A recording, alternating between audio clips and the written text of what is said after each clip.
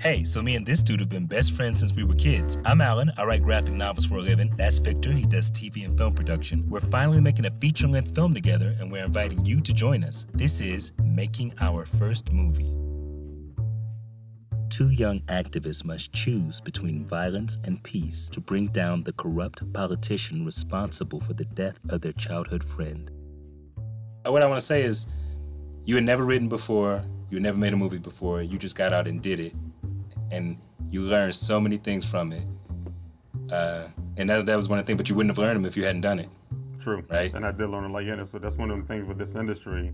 It really is. Um, it, it's on the job job training. I mean, yeah, I went to school. I mean, um, briefly for that, I am a, a, a, college dropout when it, when it came to this. But I, I, I, got into the industry immediately, and everything I learned, I pretty much learned um, doing over the past 20, what, seven years now yeah, that's part of why I'm excited for, for this movie that we're working on now because you have all that experience and, and perspective right. on it now.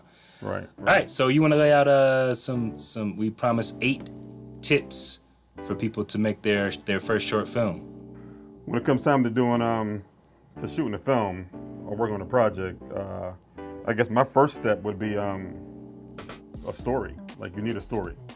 Right. Uh, and I find it easier to write about something that I know or I've experienced. Although I am a storyteller, I understand how to, how to tell visual stories. There is um, script format. There's a lot of that that goes into it. I mean, that's just something that people kind of overlook. They figure I'm gonna write, I'm gonna write a movie and just write something, and the yeah. format is all wrong, and it's just, I mean, it's horrible. Um, so I had to do some research on what script, how to format a script, how to tell a story. Um, so that's, yeah, that's, and that's, I want, that's, that's the first thing.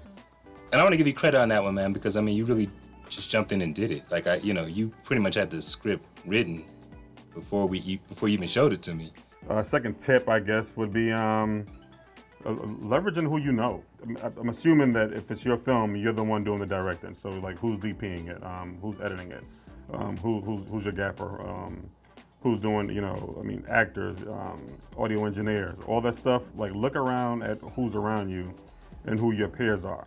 Yeah, so reaching out to people who are on the same professional level as you. Yeah, basically, in short, yes. Number three is a budget. Um, realistically, oh, yeah.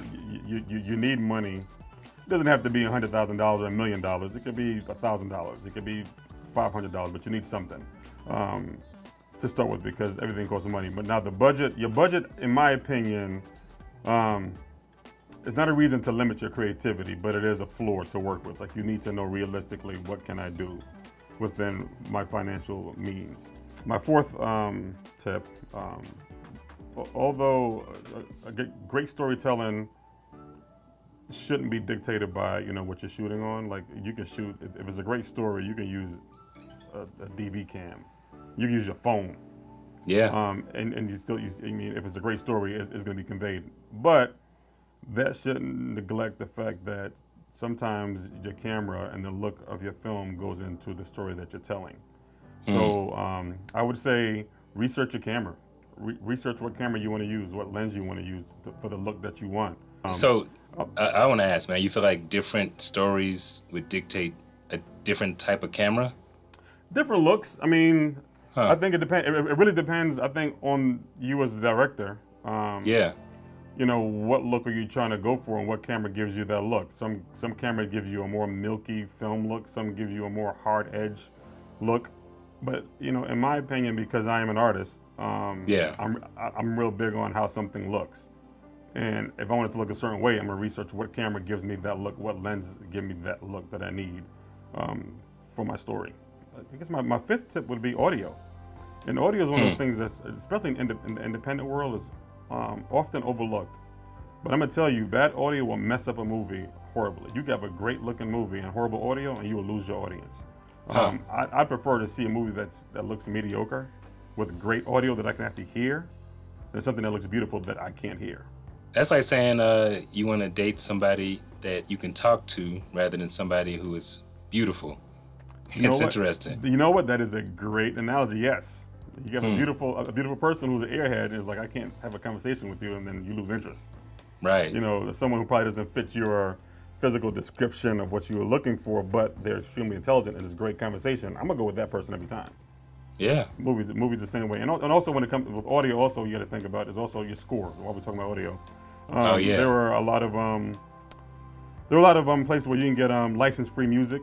Um, there's a lot of sites now where you can get that um, because the score kind of dictates the mood and understanding how to score your movie. And if you can't afford someone to come in and actually score your film, there's, there's like I said, there's a bunch of sites you can go through to get Huh. you can use to score your movie. Uh, my sixth tip um, is locations. Uh, Okay. One thing people don't think about is um, when you when you're doing a, I guess assume we're talking about a short film now, or even Right. a feature length film. Um, but if you're doing your short film, you, have a tight budget. Keep, in mind the more locations you have, the more time and money you're going to spend. I, I would say use a location that you can use multiple use as multiple sets. Um, so like if you have a house with several levels, use each level as a different location. There's this thing uh, in in TV shows called a bottle episode, where uh, the whole episode takes place on one set, Right. and those are their money saving episodes, so that they can use it for like you know bigger things in other episodes.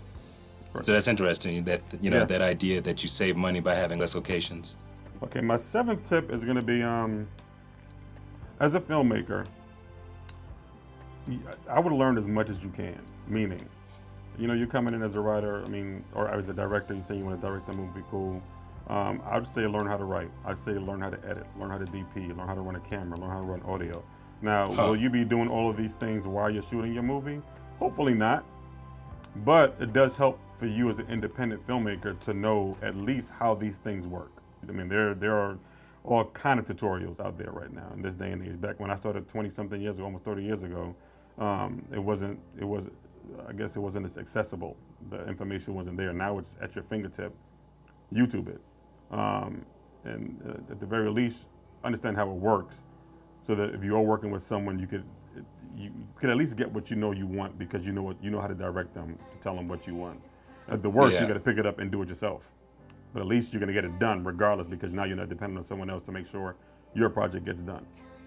Yeah, that's cool to hear. Um, just how it was back when you started. Uh, that that was during like the Charlie Chaplin phase of movies, right? No, not that old. no, no, no, no. I might, I, no, no, absolutely not. But it was, it was during. The, I, I was a very different era of where we are right now. Um, Right. Actually, I was. It was crazy. While you're laughing, I was, I was. I always tell people I was old enough to learn to learn the old way of doing things. I started in television, so we, I'm talking about beta to beta, one inch reels. Um, I was in that age where it was a whole new wave coming out, and I was able to hop on that and really soak it up and understand. Remember when the first Avid came out, I hopped on there and learned how to, you know, it was it was it was a beautiful. I remember that.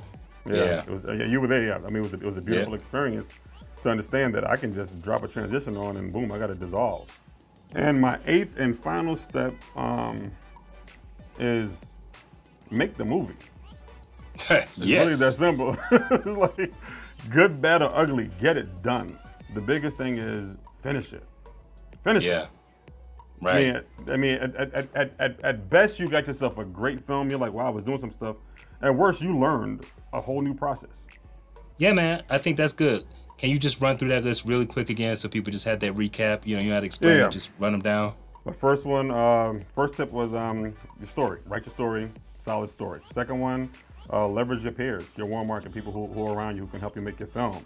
Uh, third step is your budget. Know your budget. Don't let your budget constrain you, but understand your budget is the foundation that you got to work with. Um, fourth one, um, camera. Um, although you know a camera doesn't necessarily make a film, um, it, it plays a big part in it. Understand what camera you want to use. The fifth one is audio. Audio is key. I would put audio above camera um, in this because you got to hear it. The sixth one is um, scouting your location, where, where you want to shoot, keep it to a minimum because you want to keep your budget down. Seventh is learn, learn, learn um, all you can about this industry. If you want to do it, learn all the, all the roles. And the eighth one is make your movie, make the damn movie, make it happen. right. All right. Well, uh, I think my number one key to movie making is have dope T-shirts. Look of at that. Of course, of course, why not? What? what is this one? Disney's getting served. What? I swear to God, you and these shirts, yo, I love them though.